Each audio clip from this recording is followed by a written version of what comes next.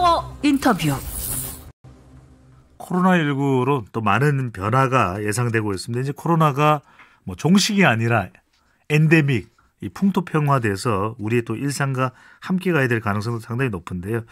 자, 이 코로나 국면에서 비대면 여러 가지 자료, 정보, 이용 율은 훨씬 더 높아졌습니다. 그러다 보니까 뭐 온라인 수입도 도, 온라인 수입이 수업이 도입이 되기도 하고요.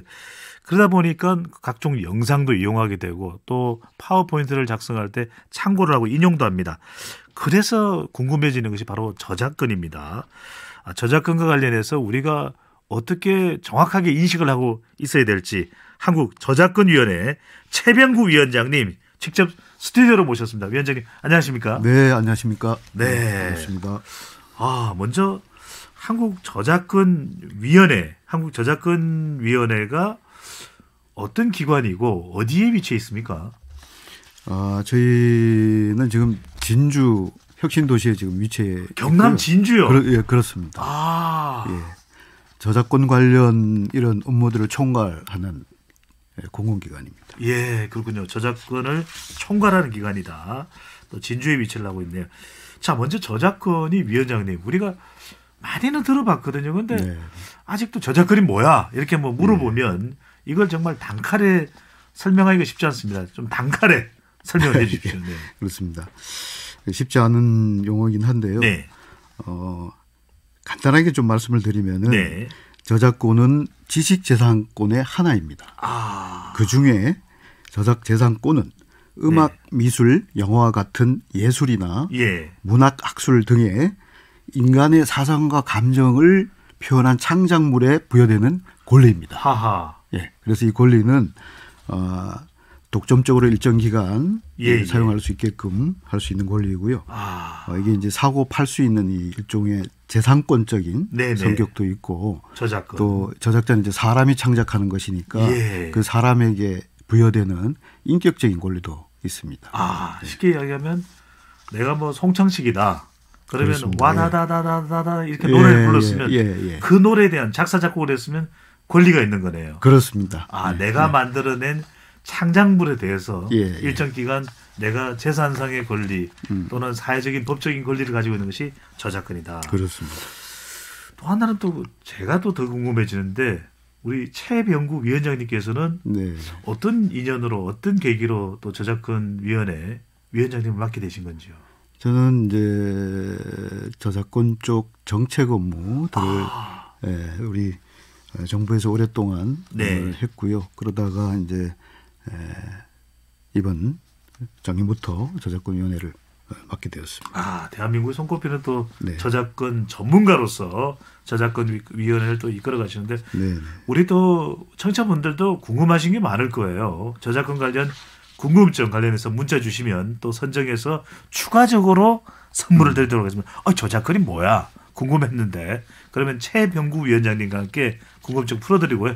샵 9977로 궁금한 질문 보내주시면 됩니다. 단문 50원, 단문, 장문 100원에 정보 영역 보는데 8766님 여기는 진주예요. 그냥 반갑네요. 진주가 네. 진주데이. 예. 진주 생활 이제 위원장님이 익숙하신 거죠?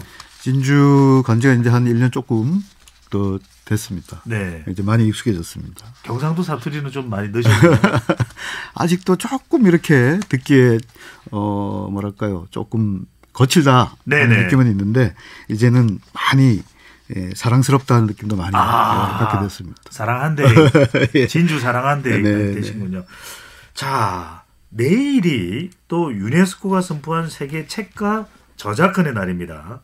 세계 책과 저작권의, 오, 저작권의 날이는 명칭이 있으니까 그렇습니다. 위원장님 오셨으니까 세계 네, 책과 네. 저작권의 날은 무슨 의미가 있는 날입니까? 예. 내일이 4월 23일이죠. 네. 예, 4월 23일이 이제 세계 책과 저작권의 날인데요. 음. 이건 이제 유네스코가 이제 정한 아. 날입니다. 유네스코가 1995년에 예. 예, 출판 독서를 장려하기 위해 가지고 음. 저작권 제도와 아, 이를 통한 저작 지식 제도권의 보장 네네. 뭐 이런 것들을 어, 진흥하는 차원에서 음. 에, 지정을 했고요. 네.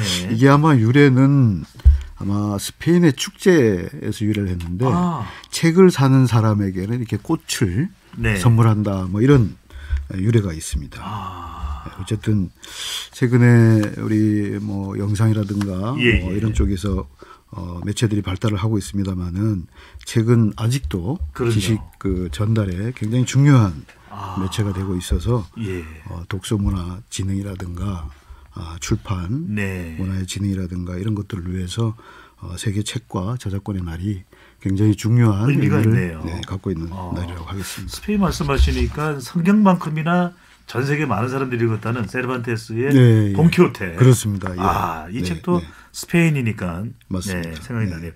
저작권위원회에 지금 궁금하신 우리 청취자분들이 많으신 것 같은데 위원장님 구체적으로 저작권위원회가 어떤 조직인지 좀 일- 네, 네. 설명을 좀 해 주시죠. 예. 한국 저작권위원회는 우리 저작권법에 따라서 네, 어, 우리 문화 우리 문화 관련 예, 산업을 발전시키기 위해서 설립된 국내 최초의 저작권 음. 전문기관입니다. 네, 예, 그래서 저희들이 하는 일은 저작권과 관련된 이런 분쟁, 음, 예, 권리자들 간의 분쟁이 있을 수도 있고 네. 이용자와의 어떤 그 관계에서 분쟁이 있을 수가 있겠죠. 어, 이런 분쟁들을 조정하는 역할도 하고 아, 또 이제 상담도 해드립니다. 예. 상담도 해드리고 또 우리 콘텐츠 기업들이 예, 이제 저작권에 관련되어서 어떤 일이 있을 수가 있- 있지 분쟁도 어, 불이익을 당할 수도 예, 있고. 있을, 있을 수가 있고 네, 이런 부분에서 이제 우리 기업들 서비스 저작권 관련 서비스를 지원해 준다든가 아. 이런 일도 있고요. 그리고 우리 기업들이 해외로 진출할 때 예, 예. 저작권 관련 내용들을 잘 알아야지 아, 우리 콘텐츠가 해외에서도 제대로 대접을 받고 그렇죠. 예, 하지 않겠습니까? 그래서 이런 해외 진출 지원이라든가 어, 또 교육 홍보도 합니다. 예. 교육 홍보 사업도 하고 있고 저작권 관련된 정책의 연구라든가 네네. 이런 부분 또 해외 또 이 국제 저작권과 관련된 예. 국제 기구들이 있습니다. 네, 또 이런 국제 기구들과 또 같이 협력해 나가는 것이 굉장히 중요한데 저희들이 그런 일을 하고 있고요. 예, 예, 진주 얘기 말씀이 나왔으니까 말씀이지만은 네, 저희가 이제 어, 내년 하반기쯤에 음. 저희 이제 그 일종의 저작권 교육 체험관 네, 예 이제 그것을 이제 지금 짓고 있는데요. 진주예요. 그렇습니다. 네, 그래서 이 우리 저작권 교육 체험관이 저작권과 관련된 네, 네. 일종의 테마파크 같이 하, 예 여러 분들이 오셔가지고 예,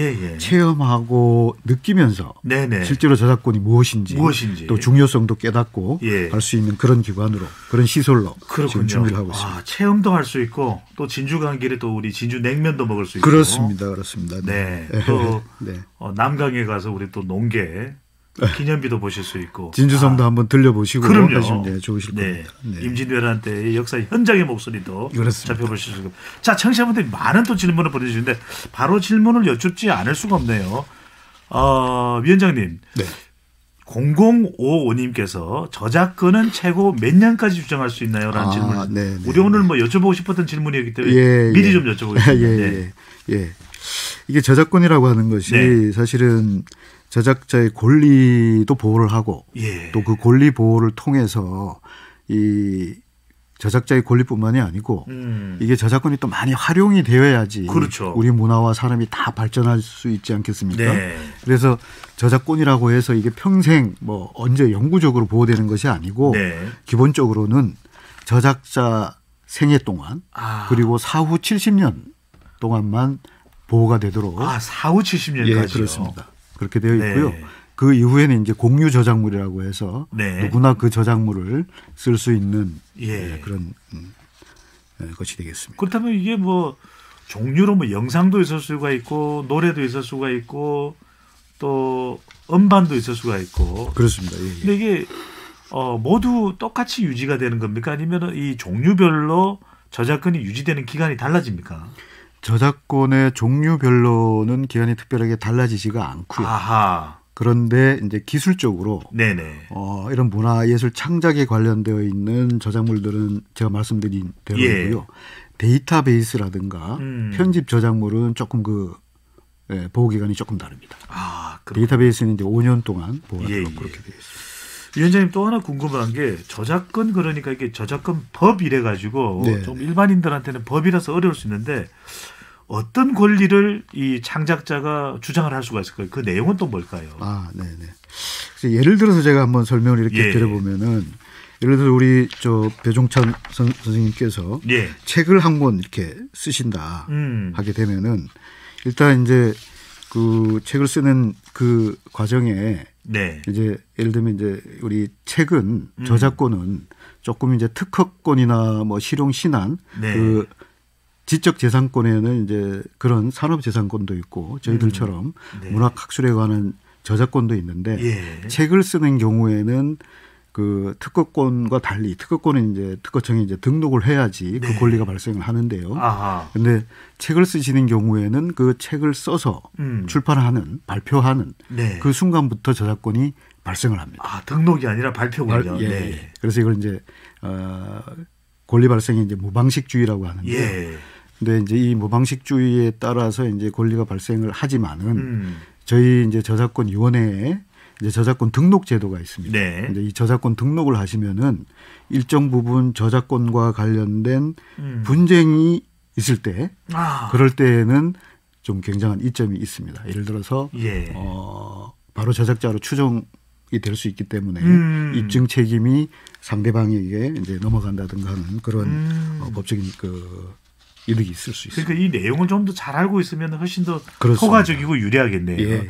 그런데 만약에 어떤 사람이 내 책의 내용이나 내 노래의 일부분을 표절을 하거나 네, 예. 어, 저작권을 침해했다.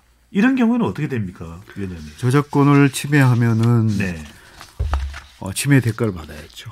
어, 그게 이제 예를 들어 저작권을 처벌을 받습니까? 네, 저- 과태료를 물게 됩니까? 어, 예, 그래서 저작권은 기본적으로 배타적 권리이고 네. 어, 다른 사람이 나의 저작물을 이용을 할 때에는 예, 예. 사전에 이용 허락을 받아야 됩니다. 아. 사전에 이용 허락을 받지 않고 사용할 경우에는 예. 형사적인 제재도 대, 에, 가해질 수가 있고요. 음. 또 민사적인 손해배상 청구도 가능할 수 있습니다. 네. 그렇군요. 또 우리가 이런 뉴스를 가끔 접할 때가 있습니다, 위원장님. 가령 어, 아주 유명한 가수가 이제 사망을 했을 때이 네. 저작권료가 뭐 배우자한테 넘어간다, 네, 네. 아니면 자식한테 넘어간다. 이걸 가지고 막 분쟁이 일어나기도 네, 하고, 네, 네. 또는 이 저작권을 뭐 언제 누군가에게 또 넘겨줄 수도 있다. 그렇습니다. 누군가에게 예, 사전이든 사후든 넘겨줄 수 있는 겁니까? 그렇습니다. 음. 예를 들어서 이제 저작권도 일종의 재산권이기 때문에 예, 예. 그 배타적 재산권이죠. 아. 그러니까 어떤 토지를 소유하는 것과 같은 예. 개념의 배타적 권리니까요. 음. 일종의 상속 대상자가 되면은 네. 상속 받을 수 있는 권리입니다. 아. 예, 상속도 받을 수가 있고 예. 예를 들어서 이 권리를 저작권을 다른 분에게 양도할 수도 음. 있는 거죠. 네. 예, 상속과 양도의 대상이 될 수 있는 권리입니다. 그거는 이제 뭐 거래를 통해서 그렇습니다. 이루어질 네. 수가 있다는 말씀이신 예, 거죠. 예, 예. 자, 0522님께서는 인터넷이나 SNS에서 사진이나 글을 음. 내 폰에만 저장해서 그러니까 누군가의 음, 음, 음. 뭐 작품일 수도 있는데 네, 네. 내 폰에만 저장을 해서 다른데 공표 안 하고 음. 그냥 나만 보는 것도 저작권 위반인가요? 우리가 왜 어, 정말 좋은 시가 있으면 그렇죠. 그 시를 내 네. 폰에만 이렇게 옮겨 담아서 네, 네. 보시는 분들도 있을 거 아니에요. 네, 네. 어, 그런 경우에는 저작권 침해가 될 수가 없습니다. 아. 어, 사적 이용이라고 해서 예, 예. 예를 들어서 어, 지금 말씀하시는 것처럼 어, 사진이나 이런 것들을 다운 받아서 네네. 내 에, 혼자서 그것을 보고 즐기겠다, 감상하겠다 음. 네. 하는 것은 저작권 침해의 대상이 아니고요. 음. 근데 이분이 이제 이런 사진 다운 받은 것을 기초로 해서 네. 또 다른 어떤 영상을 만든다든가 음. 또 이것을 뭐 유튜브에 올리신다든가 네. SNS에 다시 올리신다든가 그런 문제가 되겠네요. 할 때는 이제 저작권 이용 허락에 문제가 될 수 있습니다. 아, 지금 위원장님 말씀대로 자칫 우리가 생각할 때 이거 문제 안 되겠지 생각하고 한 행동인데 음, 음. 이게 저작권 침해 사례가 될 수 있을 만한 그런 대표적인 사례들이라면 어떤 게 있을까요? 그 사례를 제가 하나 이렇게 말씀을 드리면은 네. 이건 일본의 사례인데요. 예. 요즘 그 보면 이제 유튜브에도 많은데 음. 영화 이렇게 여러 편들이 나오시 나, 나오잖아요. 맞습니다. 네. 근데 여러 영화 편들 중에 주요한 영화 뭐 다섯 편 여섯 편 이렇게 예. 예, 예. 그걸 편집을 해 가지고 압축을 해 가지고. 압축을 해 가지고 네. 요약하거나 줄거리 설명을 해서 예, 예. 어 요거를 이제 영상 리뷰 영상이다, 영화 리뷰 영상이다. 아. 그래서 아마 유튜브에 올리는 경우들이 있어요. 인기예요. 인기입니다. 그렇습니다. 네. 근데 어, 이게 판례가 있는데요. 예, 예. 일본의 경우에 음. 어, 이런 판례가 있습니다. 장편 영화 다섯 편을 네. 무단 편집을 해서 장편 영화당 10분 동안에 편집을 해서 요걸 예. 요약을 해서 올렸어요. 어. 근데 이게 어 저작권 침해다라는 아. 판결이 있었습니다. 아, 이제 긴 이- 장편 영화에 단지 몇 예, 분인데도 예, 예, 줄여서 그 이유는 네. 요렇게 이제 어, 모- 모아 가지고 일종의 리뷰 영상을 만들면은 예. 이것이 이제 예를 들어서 그 영화를 제작한 분들의 하하. 어떤 수입에 예. 영향을 미칠 수가 있고 또 에이 뭐 영화 안 봐도 되네 뭐 이렇게. 네. 그렇습니다. 광고에도 영향을 미칠 수가 있기 때문에 음. 어, 저작권 침해 행위에 해당된다 이런 네. 예, 사례가 있었고. 위원장님 그건 어떻게 됩니까? 유튜브 같은데 보면은 네, 네. 뭐 실컷 자기의 내용으로 콘텐츠를 구성을 했는데 음. 배경음악이 음. 띠리리리리리리 예, 예, 예, 이러면서 예. 네. 우리가 일반적으로 아는 그런 음악이 들어가 있어요. 이런 네, 배경 음악을 네, 네. 그렇게 사용을 했을 때 어떻게 되는 겁니까? 배경 음악도 이제 그 저작자들이 다 권리자들이 있습니다. 아, 그러니까 아, 그런 그 배경음악을 쓰실 때에도 예, 예. 사실은 그 배경음악의 저작권을 갖고 있는 분들에게 네. 사전 이용 허락을 받으셔야 됩니다. 아, 네, 받으셔야 되고 예, 예.